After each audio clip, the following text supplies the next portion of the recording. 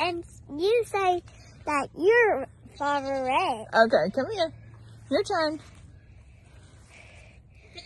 I'm Zoe. And I'm Farmer Red. You're so silly.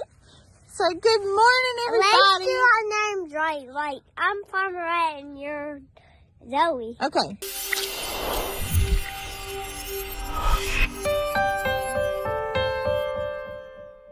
Good morning, everybody. I am Zoe at Chestnut Hills Farmstead, and And this, And I am Farmer Red. that's right. I have a lot of animals. Good morning, y'all. We hope you guys are having a wonderful day. It is beautiful out here, and we are going to feed animals, and then we're going to head home and we are going to try a new recipe today. We are going to try making spaghetti pie. So every week, I meal plan, and I look at the different meats we have in our freezer, and then I plan meals around those. And I said, Nick, what is something you would like? And he said, this is so random. But growing up, I had something like a spaghetti pizza pie. And after a little bit of research and all, we figured out it is a spaghetti pie that is just amped up a little bit with some pizza flavors. So we're going to try and make one. I've never made it, so it's going to be a first time for you and for me. But the first thing we're going to do today is we're going to get all the animals fed and we're going to give out some treats because we haven't done treats in a little while. So you guys are going to come with us as we hang out with the animals for a few minutes and we're going to feed them some treats, feed them their regular food and just get everybody set up for the day. Well, here's everybody. Good morning, Reese Cup. And there's Chester. Hey, Mom, What, baby? this is Hot Wheels. It is Hot Wheels. Come on. You give me it, Probably. or Daddy oh. give me it. Yes, Jingle. Mom, look at Johnny Johnny's horn. I know Johnny Johnny wants you to give him a And treat. his is really, really. Everybody's hitting me with horns this morning. really- Come here. Come here. Everybody's hungry.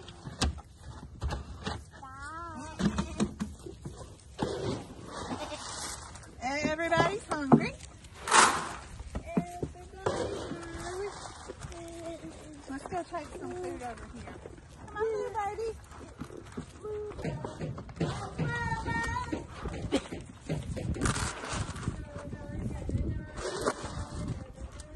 You think everybody's gonna want a treat this morning?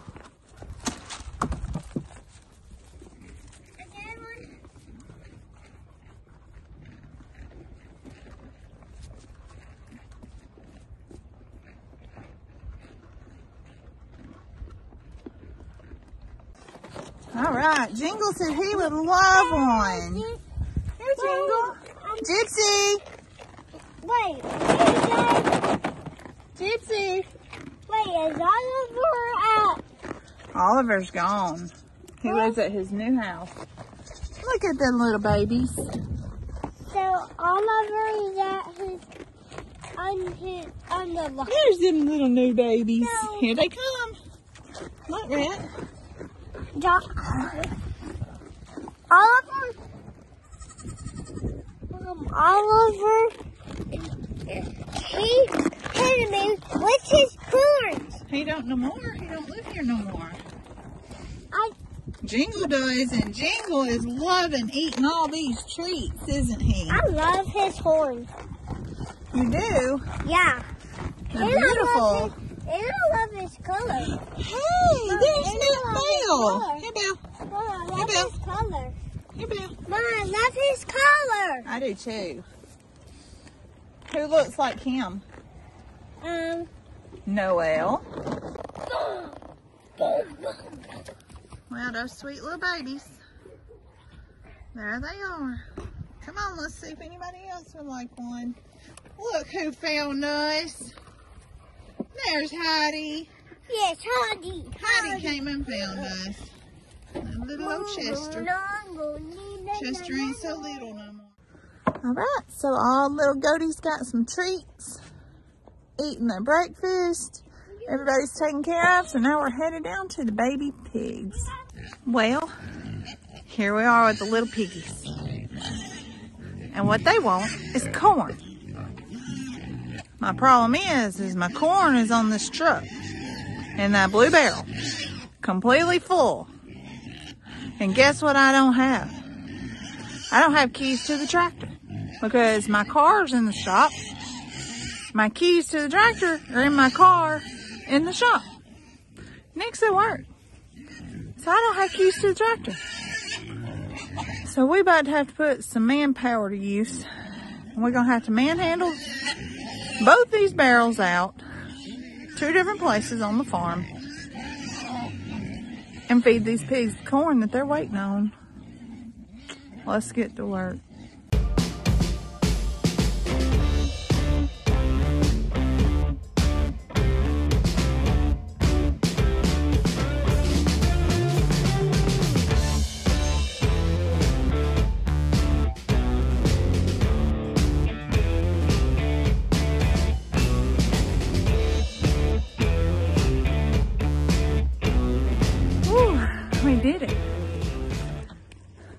That barrel weighs, I think, around 200 pounds. It did not come off the trailer like I was, I mean, off the truck like I was hoping it would. And naturally, I knocked it over. So, with the help of Farmer Rhett, we got that thing back up and got them piggies their corn. So let's go. We've got an even bigger barrel that we gotta shimmy off for the big pigs. So we're headed around there. Let's feed them and feed the donkeys real quick. Hey, Farmer Rat. Can you feed Pixie Dixie for me? She's waiting.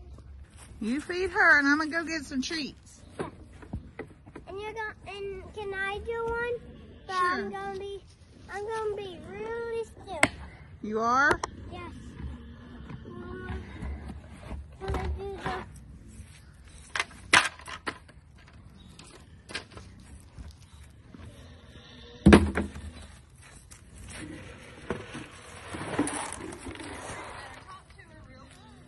Ah,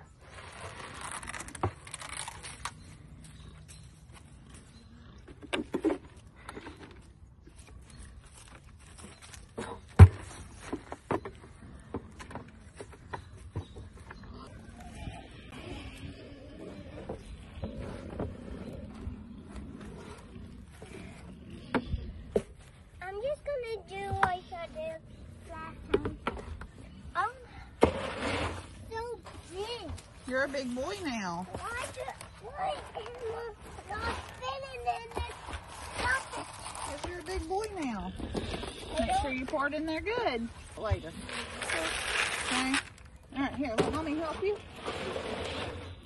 I can do it. Right, You can let go.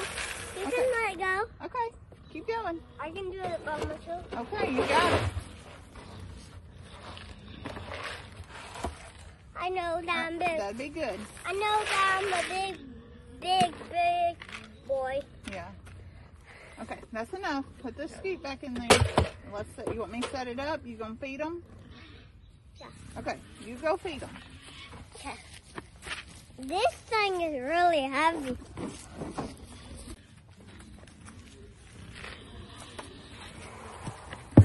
feed them.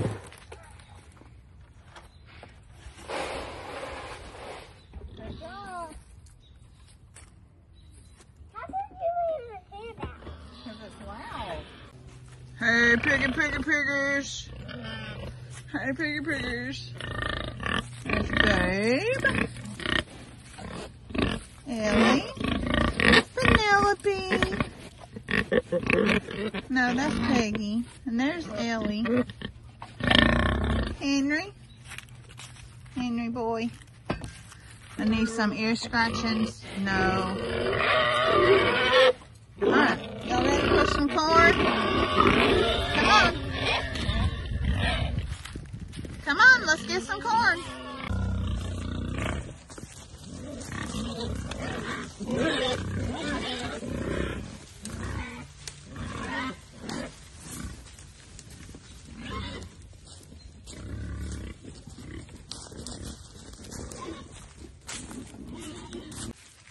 All right, piggies have corn. Now I've got to try to work this big old sucker. It's about 350 pounds. To the edge, lay down, shimmy it off, and keep it upright. Because if not, we're gonna be in a real pickle. That's their food. They need their food. So, fingers crossed. Here we go.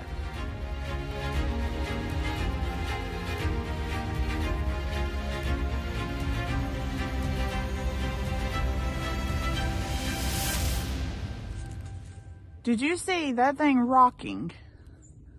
My heart stopped about a thousand times in that 10 seconds because as I had it up and was moving it to the edge, it hit that lip where the tailgate meets and it started rocking forward. I knew we was about to go over and it was going to bust open and all that feed was about to hit the ground.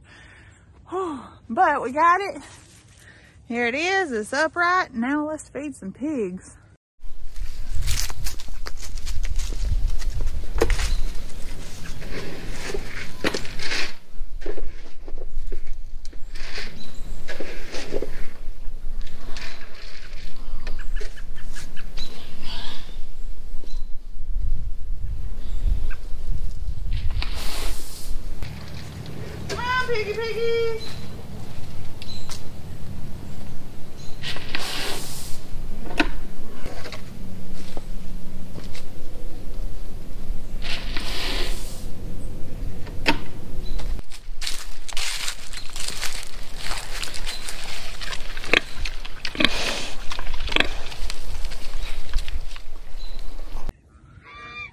I know it's probably loud, but you know, being a four year old and having to go work at the farm every day can be a little daunting.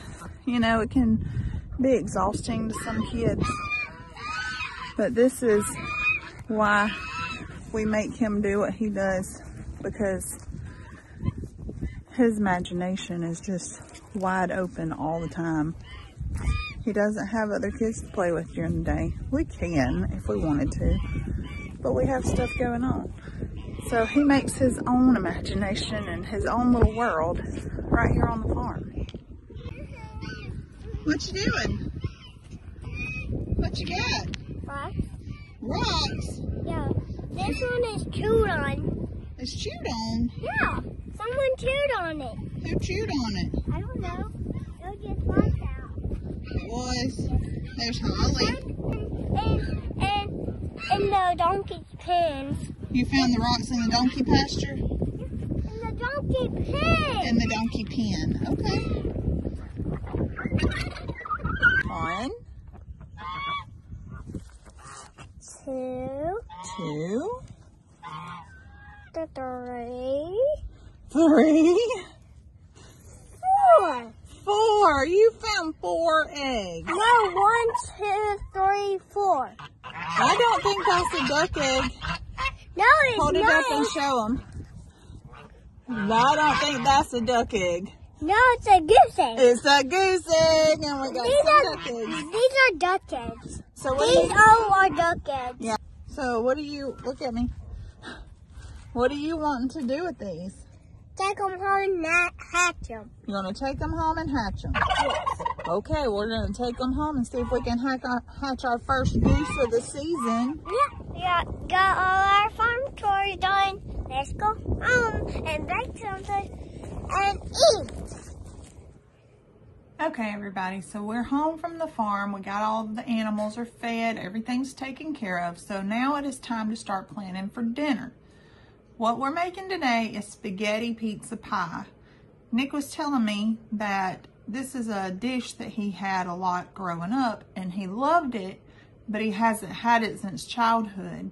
And over the years, he's asked his mom for the recipe and she's given him the way she recalled it. And finally, we sat down and took a little time and looked it up. And this is the one that he had found that was the closest. So we're going to make this with you guys today. And so first, let's just kind of talk about what the ingredients are.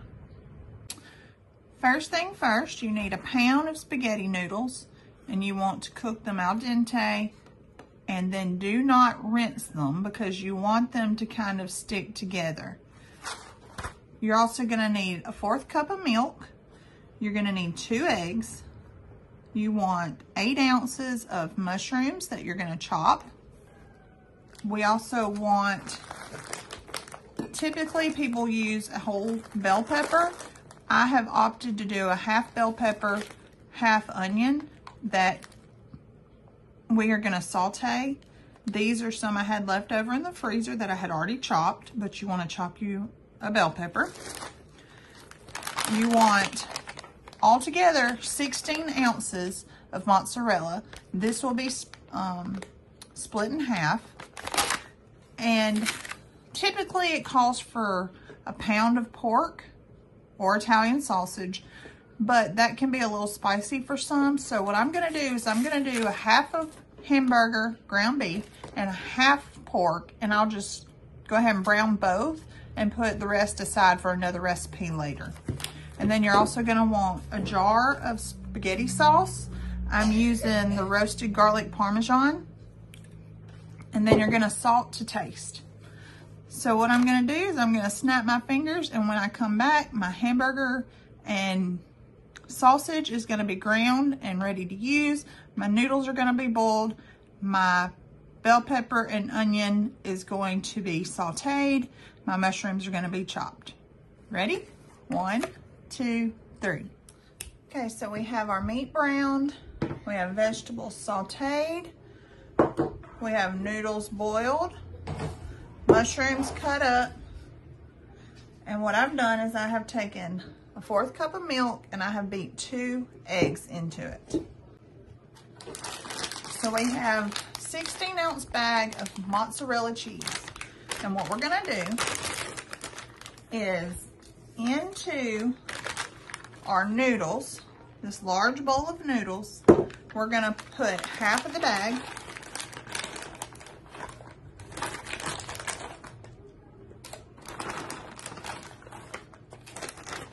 half the bag. We're gonna put our egg mixture.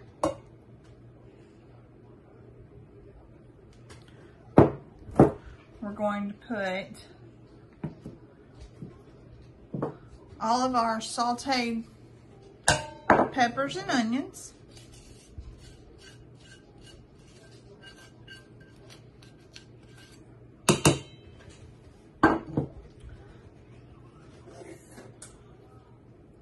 Going to put half of our meat mixture.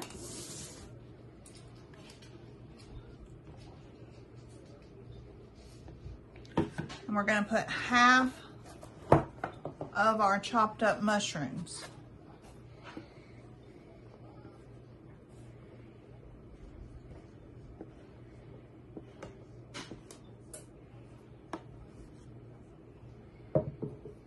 We're going to give that a good toss. So I don't know if you guys know, but when you don't rinse your spaghetti noodles, it allows the starch that's on the outside of the noodles to stay attached and that allows things to stick to it. When you rinse your noodles, your noodles aren't going to stick, but your tomato sauce is not going to stick. All right, got it all mixed up. Okay, so now it is time to get this mixture into our casserole dish. So what I'm gonna do is I'm gonna go ahead and spray that and I'm gonna turn the camera down so you can kind of watch me as I get it into the bowl and we're gonna press it down to make the crust. So I have a prepared dish. It's been sprayed with nonstick spray. And what we're gonna do now is we're gonna take all this. It's a lot, it is a lot, and we're gonna put it in this pan. So basically what we've done is we have taken our spaghetti without sauce and we are going to put it in here and we're going to bake it.